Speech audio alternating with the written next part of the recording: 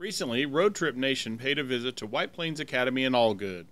The purpose of their visit was to help inspire students as they prepare for life after high school.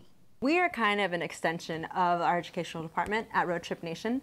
Um, and what we did was we, um, the, the main point of what we did was to kind of kick off the curriculum that we're running at the schools, including the school here, and also to make this the kids very excited and to demystify some of the things that they have to do. So one of the things they have to do is um, they have to do an interview at the end of their experience, and that involves doing a cold call and getting out into the communities, and a lot of students are very afraid of that.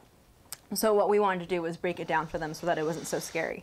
Um, in addition to, to the fact that we want this experience in the curriculum to be bigger than just something they do in school. We want it to be something they take with them for the rest of their lives and that can propel them forward. So we wanted to, we thought that by being here at the schools and doing events like these, it would further solidify that.